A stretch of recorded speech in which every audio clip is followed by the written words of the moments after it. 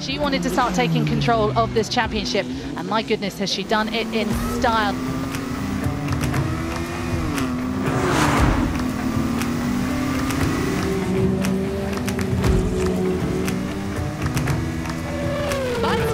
Takes the win in Zolder. She said she wanted to beat Jamie Chadwick, and she's done it. Beitske wins around Zolder.